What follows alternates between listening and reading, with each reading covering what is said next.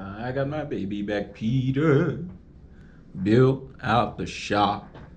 I got my baby back, Peterbilt out the shop. Weeping a ride.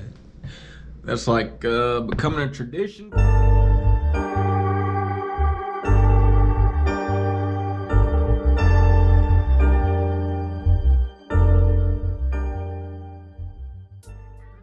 Talk today. I'm going to talk, I guess. I'm going to talk real fast about the company team option that Prime uh, started offering sometime maybe July, August, maybe it was somewhere around July, August, I think it was, something like that. Um, no Hippie told me to do this video about two, three times. Shout out No Hippie, man. I think you still off work, bro. Um, shout out No Hippie, man. Great guy. No Hippie Trucking and Transportation. If you uh, haven't checked him out before, shout out to Do It All. He's back at work as well. Welcome back to work, brother. You know, shout out Truck and Trev, say in the hallway. Um, hey, all love to Johnson's Logic, man. I Love that guy, man. Check out his YouTube channel. I'll try to put all of these links. I try to almost like citing a paper in school. I try to, if I say your name, I'll throw it in the doggone links. Um, shout out to Million Man and Long Haul Trucker. Sorry, uh, Million Mile Man and Long Haul Gypsy. Shout out to both of them, man. Me and Eric were talking about y'all a little bit earlier. Um, if I may just kind of give a word to the students and trainees, and I'll combine the videos, and hopefully y'all watch it. Shout out to all the students and trainees, man. I was on, I was at the plaza, and you know, when a shuttle drops you off, and you can look over the hill at everybody practicing on the pad. I was doing that um, waiting on the shuttle. I was just looking over, you know, just kind of looking at the pad and all the students like, man, there's there's our future trainees, there's our future drivers, there's future in-house trainees. They those are the that's the next the the next set of leaders. That's that's that's the next generation. That's the you know, those are the ones rising, you know? So that was cool. Um, I have a respect for y'all coming out here during the winter time. Y'all are out there in the cold. I mean, it's been snowing. We got the wind. Y'all out there getting it done though. I got students telling me, yeah, I had to run to Walmart, give me some long johns. So hey, I got respect for y'all. When I came, it was summertime.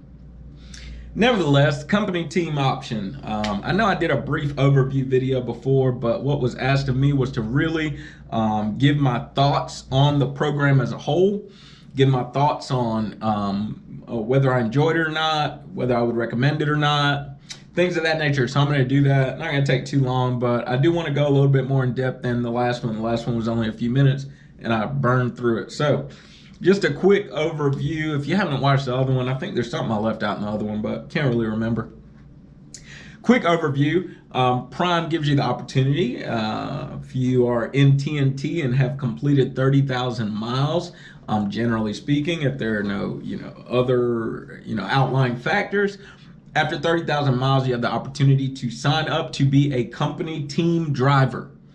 Um, you will have to do so. The agreement is for you to do so before, for 120 days before you are eligible to make any other decisions. And, um, you know, at least when I was going through, um, they put you in a brand new Pete, you and your co-driver, and you roll on out. 21 Ultraloft. Uh, can't think of any other stipulations right now as far as the program goes, but that's basically how it rolls. Um, so, first, I'm going to give you a little bit of advice if you're if you've already actually I think it should go the other way around. Did I enjoy the program? I did. Now, if you're thinking about the program, you're gonna hear people say, "Oh, you shouldn't do it. it's gonna be two new drivers. Y'all ain't gonna know what you're doing. Y'all gonna run off the side of the mountain. You ain't gonna know what you're doing. Yada yada yada." Well, none of that happened to me. Thank God, of course. And uh, had two different co-drivers. None of that happened. Um, would I recommend the program? I would recommend it to some people. And others, um, I would say maybe it's really not for you. Um, you know, I wanted to go through the program because I felt I was ready to spread my wings and I also wanted to go ahead and uh, start receiving uh, higher income. Those were two uh, motivations for me, so that's why I did it.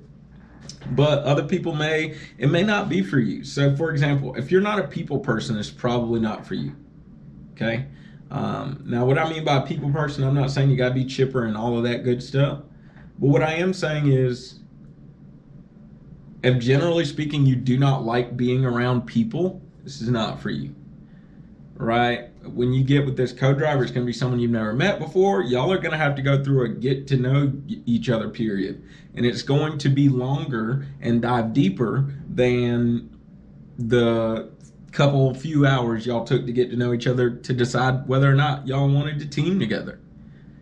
Um, that's just that's a part of the game. Okay, you don't have time to really get to know someone in depth, so you're kind of going to get to know each other on truck. Um, if you're not one who can flex and bend, this is probably not for you. Because you're getting on a truck with someone that you've only spent a few hours with prior to making a commitment, um, y'all, you, the both of you will have to flex and bend.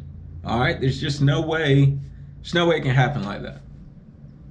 Um, so if you can't flex and bend and you know give and take, it's probably not, it's probably not the, uh, it's not an option that you want to exercise.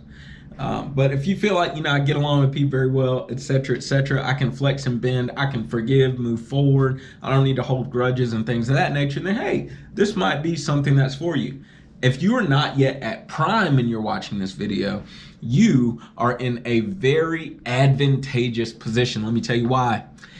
I believe that if the organization Prime Inc. wanted to tweak this program, I believe that the best thing that they could possibly do, just my opinion, I believe the best thing they could possibly do is mirror um, the buddy system, whatever the case is that the military does. What they do is they'll have two people sign up together and then let them know, hey, look, we'll send you through training together. Of course, these two people can't be on the same trainer's truck, TNT, but we'll send you through training together. Your orientation would be together, your PSD. If y'all are both staying on the pad before taking your license, then that'll be together if you don't hit the road. Other than that, when both of you hit 30,000, we are going to let both of you team together.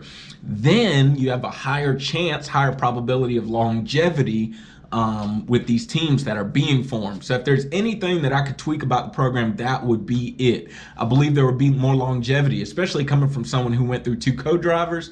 Um, that was a little bit like, ah, man, I don't feel like going back to terminal, pick up another co-driver, and I'll lose money there, lose money again, lose money here. If there's anything that could be tweaked, that would be it. If we had just had a buddy system, y'all sign up together, put it on the application, and boom, then, you know, that's it. So it seems like there would be longevity. I do know uh, two people who uh, came from the same state that I live in. one of them lived about 15, maybe 20 minutes away from me. Um, but I know they came together. They're good friends. So at least they have a better probability because they know each other. They've done life with each other already. And hopefully they have uh, already kind of met conflict and dealt with that conflict together so they know how each other works through conflict. So, um, but if you're if you're not watching this, I mean, if you're not here at Prime already, and you're watching this, it's not a bad idea. It's not a bad idea to see, hey, do you have a friend that would want to do this with you? They got to be all in. You need them. You you both need each other to succeed, so the pressure's on. But I think that's a good thing. You know, uh, so it's kind of like you got a wingman. You got a support system that's coming from home with your Springfield. Y'all can rent a car together. Y'all can do the whole thing together, right? Um, so that's that. All right. Uh, so just a few things I want to say. How can how can I? You know, I've received a few questions. One from I believe it's Miss Carla. Is that it from our PSD and TNT group Facebook? I'll leave that link in the bottom also. Um, I believe one of the questions is kind of like how how can I find a teammate? How can I get this thing kicked off? I don't know anybody. I'm new to Prime, right? Um, so I want to kind of speak to that. First off, while going through training, you, if you kind of click through someone, click with someone in any of the classes while you're doing practicing out on the pad, if you click with someone, that's a good choice. Otherwise, there is a Facebook group, Prime, Prime Inc. Team Up, or something of that nature. I'll leave it in the link of this YouTube video. Um, that's another place where people are searching for co-drivers. Um, we have the Prime Inc professional drivers uh, Facebook group. That's another place you just kind of put an ad out. Hey, my name's so and so. You know, this is where I live, looking for a co-driver, and list a few of your non-negotiables. We'll go over that in a moment. Those are ways you can find a teammate just walking around campus, kind of hanging out, things of that nature, right? Um, while we're on that topic, the first real bullet point I have on my outline here is your choice of a co-driver directly affects your success as a team. Your choice of a co-driver directly affects your success as a team, okay? I can't even overemphasize this enough. It is, it's a little bit challenging to try to really get to know someone in two or three hours, you know? Uh, I don't want to get too deep in this video, but to some degree or another, we all wear masks in life, okay? Just being real, all right? To some degree or another, we all wear masks in life. You don't just meet someone and you are exactly who you are right in front of them and you're entirely transparent and all of your insecurities are revealed and right? To some degree or another, we all wear masks in life. You're not going to find out, say for instance, you're not going to find out if someone struggles with forgiving others in the three hours of meeting them. Something you find out later. Or it's something you just directly ask them, directly bring it up, straight up. This is the deal you know? And if it happens in the future then it's kind of like hey we discussed this. Is this something you're willing to work on? Right? Your choice of a co-driver is going to directly affect your success as a team. Okay? Uh, does your co-driver have a pretty good work ethic? Right? Is does your co-driver share the same goals that you have okay is your co-driver really trying to get it done Okay, so when you're choosing a co-driver, there are a number of things you want to discuss. I briefly mentioned this in the other video. Um, I also briefly mentioned this in my second most recent video, my hours of service 102. That is, you want to discuss with your co-driver hours of service. You want to talk. What shift do you want to work? Do you mind working nights? Do you specifically only want to be on days? Okay, if both of you don't really like nights, well, that's normal. A lot of people don't want to stay up all night. Well, are we willing to share the load? You stay on nights four to six weeks, then we switch. I stay on nights, or you stay on nights. We stay out for four weeks at a time. We go home, and then we switch. Then the other person take nights. Are we willing to do that? You need to iron it out right now. Ain't gonna be no arguing and changing your minds later. Let's we done did 30,000 miles. We know what it's like by now. Okay, another topic you may want to discuss with your co-driver, I mentioned this in the first company team video, is non-negotiables. You want to talk about those non-negotiables. Here's what I mean. Uh, thought something bit me. You want to talk about the non-negotiables. Here's what I mean. Let's get extreme. I'm just going to exaggerate. You may have a non-negotiable and say, I need to take a shower once a day. Every day, I cannot skip a day. Okay? Someone else may say, I am not willing to stop every single day to take a shower. Every other day is good for me, whatever the case may be. If that's a non negotiable, I probably can get on the truck with that person. Unless you are willing to explicitly admit, I am willing to compromise and uh, make this non-negotiable negotiable. All right, here's another one, another non-negotiable. For me, I don't feel like arguing with nobody about no politics. I don't want to argue about religion. Okay, it's just my thing. I don't want to argue. With, I don't feel like arguing. Right? Like if it gets to that. Now, me and my co-driver Doug, one time we had a conversation about politics, but it didn't feel like an argument, so I felt comfortable and that was months. No, not months. That was miles. It was weeks after we had been teaming together, and I felt comfortable in that conversation with him. But if I was teaming with somebody, or even if I start training and I get a student, I don't want my student coming on my truck talking about politics. You know, oh, oh, I love Biden, or oh, I hate Biden, or oh, this, oh, that. Look, dude, I don't want to hear about it, man. I don't feel like arguing with you. That politics never works out, man. Never works out in a conversation. It's very difficult. Very difficult to really just it's a non-negotiable for me. Unless I know for a fact we're comfortable together, I'm gonna cut it short. Right? What's another non-negotiable? Um, cleanliness is a non-negotiable for me, to be honest with you. If you can't pick up after yourself, we cannot work together.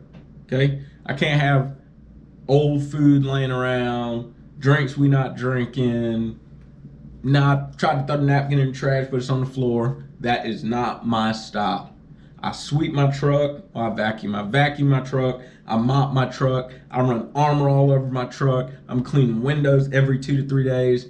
I, and I'm not a neat freak, but I just need I just need it to be clean around me. I can't do that. It drives me nuts to even think about being in a situation like that. Your dirty clothes need to be washed every now and then. You know what I'm saying? I don't expect you to be washing clothes every day, but if the truck smell funk because of a bag of dirty clothes, we need to get that handled.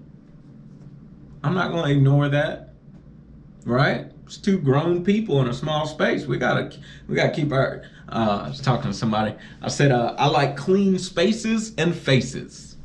Clean spaces and faces. I need your tongue brush. I need your body washed. I need your clothes washed and stuff. I get it. Look, I drive. You know, I know I can't hit a shower room every single day, and sometimes I'll be like, mm, you know, I need to get up in that shower. I get that. Okay, I'm not, you know, Barbie's boyfriend Ken. All right. But, you know, we got clean spaces and faces, okay? Other things you want to discuss is home time. How often do you want to take home time? How do y'all want to take home time? You want to take it at the same time, or do y'all want to alternate? You know, every two weeks, one of us goes on home time, then you get back home, we run for a week, week and a half, then the other one goes on home time while the other rides solo. How do you want to do home time? All right? And you want to discuss just any other expectations, right? I expect to be treated with respect. Okay, I expect you never to be raising your voice at me. I expect you never to be calling me out my name. Okay, if I'm on the phone, I expect you, if it's not important, I expect you to give me my time. When I'm asleep, I expect you to give me a level of privacy and solitude. If I draw the sleeper berth curtains back, I expect you to make an effort to leave me alone. That's what I'm saying. Make an effort. I get it. For example, Doug be sleeping in the back. I stopped for my lunch break. Well, I got to get, you know, my sandwich meat out the refrigerator. I'm going to do so as quietly as I possibly can. And then for some day, Doug stay asleep. Okay? But, you know, I expect you to make an effort. Don't every single day I left this. I left my headset in the back. Oh, I left this. I got to get gum from the top bunk. You know, gum, bruh.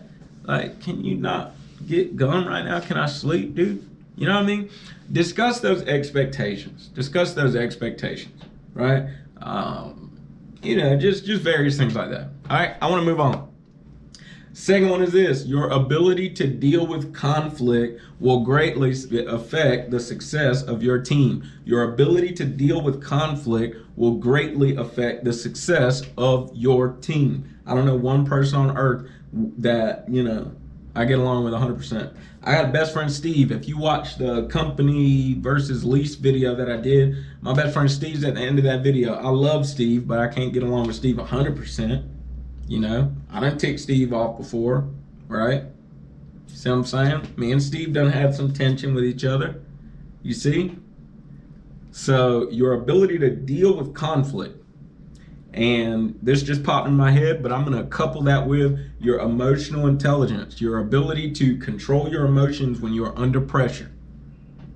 Your ability to deal with conflict and your emotional intelligence are going to greatly affect the success of your team, including your co-driver's ability to deal with conflict and emotional intelligence are going to greatly affect the success of your team. If you know you flip out easily, I do not think this is I do not think this is an opportunity you want to tap into. Seriously. For real.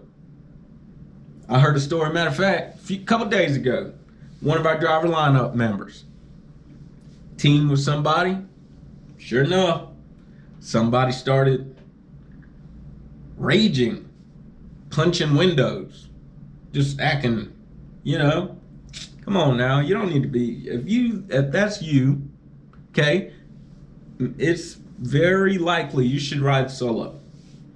Okay, because people are going to have tense moments. I mean, you're gonna disagree with each other. All right, um, you got to know how to move through conflict. Sometimes it's going to mean I need to yield, and other times it's going to mean I need to hold ground. Okay, and both of you need to know how do I deal with this conflict? Do I need to yield in this moment? Is the is the battle you know worth it? Is the hill worth standing on, or should I move off the hill? Let that person take the hill. Don't really matter. It's not that serious, right? Um, you need to know: is this something we can compromise? Can we share this hill? It, you just you got to know how to move through conflict. All right, you really got to know how to move through conflict. All right. Um, this last one, this last one, I believe is, eh, you know what? I don't think it's important. I think I had a, got a buddy I met here, Peter.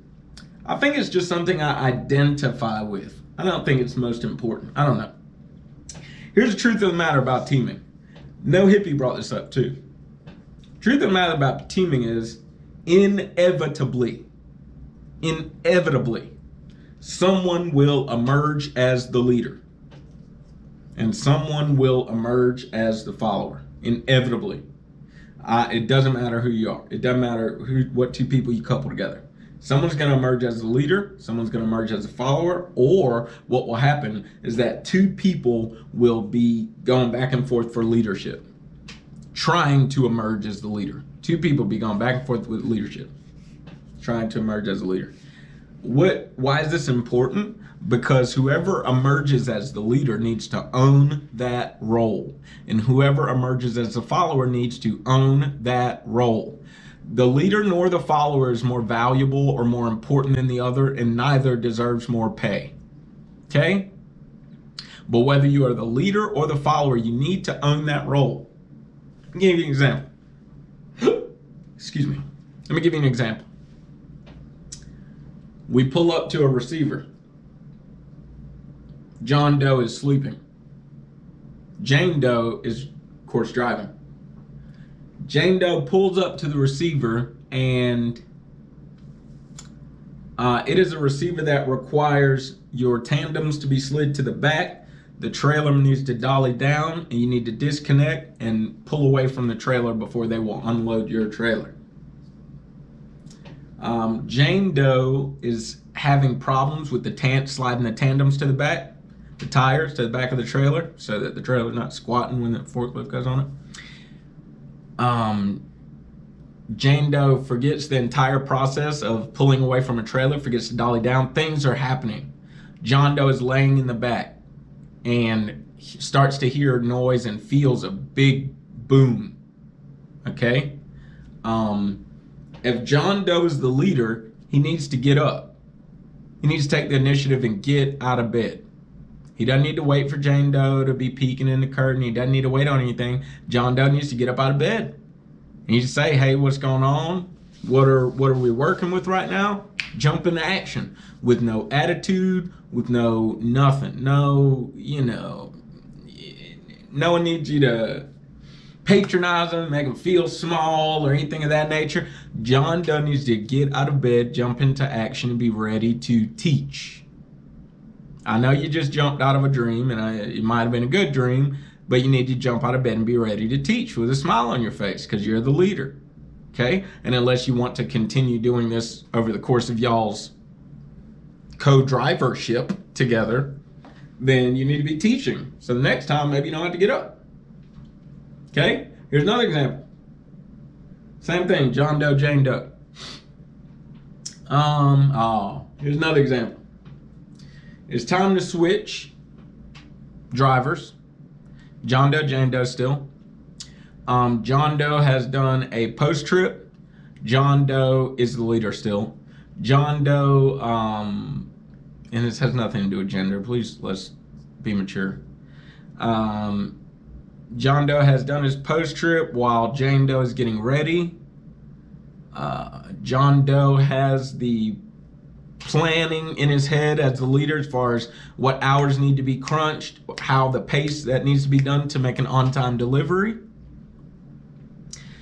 Uh, Jane Doe comes from getting ready in a bathroom or something of that nature, comes and notices that the I'm a ref, or uh, you know in this situation, John Doe and Jane Doe are refrigerator drivers, um, and Jane Doe notices that Jane Doe notices that the reefer unit is set on, let's say 35, the reefer unit is set on 35, but it says uh, it's set on 35 and five degree con- uh, of variation, and but the unit says that it's 37 degrees inside the trailer.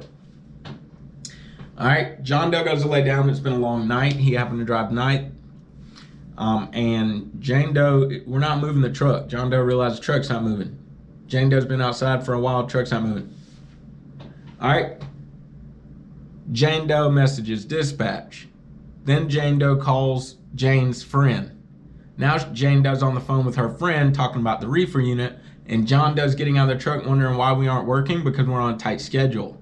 So then John Doe's trying to talk to Jane Doe, but Jane Doe's ignoring John Doe and instead talking to her friend on the phone. Okay, you see how this is going wrong? Now the team is not working together. Instead, we're working as individuals. That's not wise. I'm telling you to run a team into the ground. Okay? Now Jane Doe wants to tell John Doe, no, we don't need to move because the thing, yada yada yada. And John Doe's trying to say, hey, look, it's five degree variance. Um, you know, it's going to do that sometime. Or actually, I think it was defrosting or something. The temperature t- tends to to uh, uh, variate when it defrosts, but it'll go back down. You know. Uh, clearly, I'm sure you could tell I'm telling a story, but nevertheless, you see what I'm saying? But Jane Doe doesn't want to listen about why the temperature's off. Well, I'm not running because I'm responsible for the box. Well, John's trying to explain. Listen, the box is fine. Everything's fine. We need to get out of here, though. Okay. Um. So it, what I'm saying is this. Sorry about that, yo. What I'm saying is this: the leader needs to be a leader, and a good leader at that. Give me just a second here. Hey, what's up? Can I call you back in about five minutes? All right. Bye. All right. So yeah, yeah, yeah. Listen, gotta wrap this up because you say I said five minutes. Listen, though, the follower needs to own that role of being a follower and trust the leader. The leader needs to own that role of being a leader and be a good leader, a merciful leader, an understanding leader, a gracious leader, right? A a steady leader, right? And and the followers got to be the same you know? Um, allow that leader to make some mistakes but follow that leader's direction right? That leader needs to be understanding and listen to that follower. That follower may be telling you something that's going to make you be a better leader today but if you're heavy handed oh we're going to do what i say type of leader you're, you're going to wreck your own team Okay? Uh, the leader follower relationship is not based on importance or who's more valuable. It's only based on strengths, weaknesses, and, and, and, and personality and character. That's it. That's it. It makes no one more valuable than the other. It really doesn't, right? But you got to own those roles. Nevertheless, listen. Um, I believe I've answered the questions. I've given my opinion re- regarding the uh, company team option. Um, but really consider your co-driver because I'm telling you that's gonna make you or break your team. It's gonna make or break your team. Make it or break it. So look, it's 4:36. Uh, my buddy's calling me at five o'clock. about to roll in Millennium, give me something to eat. I'm coming back here and I'm gonna relax because your boy got his truck back, so we got work to do tomorrow. All right, y'all take it easy, drive safe, find somebody love day. It's your boy Travis Kinley checking out. Love y'all, and I will see you soon.